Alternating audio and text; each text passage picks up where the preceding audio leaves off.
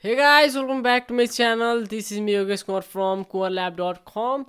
Today in this video, I'm going to show you how you can use your normal router as a Wi-Fi repeater. This technique is going to be very useful for large house, office, uh, warehouse and other wide places where the existing Wi-Fi signal is very weak.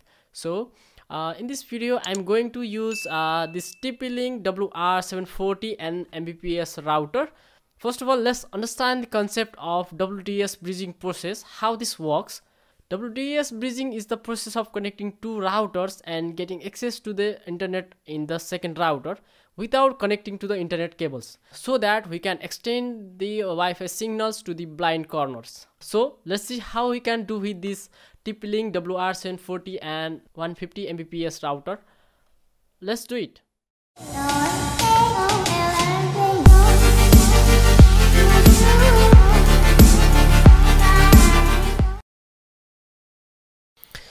Okay guys.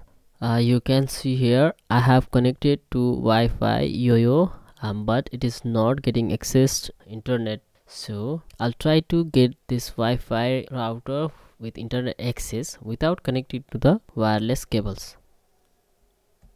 Okay first of all open the browser.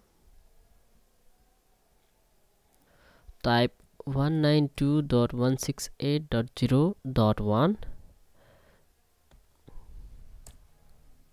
here uh, type admin and admin as a default password and username. Click sign in. And then go to wireless and wireless setting. Here you can see enable WDS bridging option is available. Just click this.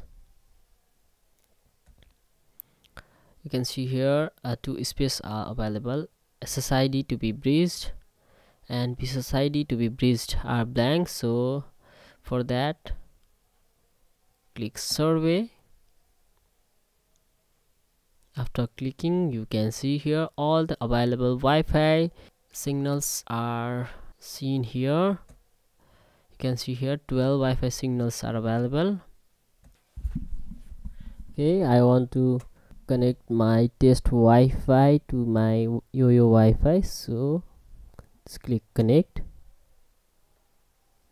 You can see here SSID test Wi-Fi and BSSID is seen here. Okay after that go to key type select your key type and enter the password. And then click save.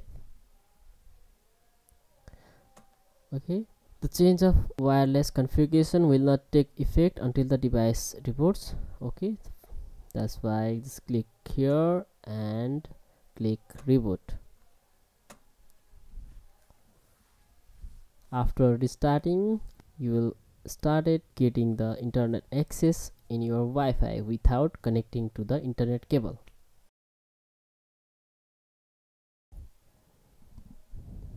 Okay let's connect. Let's see what will happen.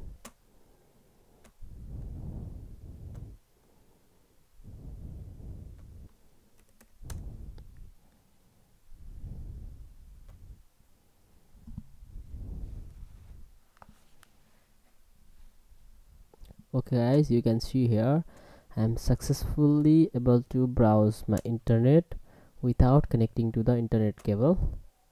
And you can see here. Internet is working fine.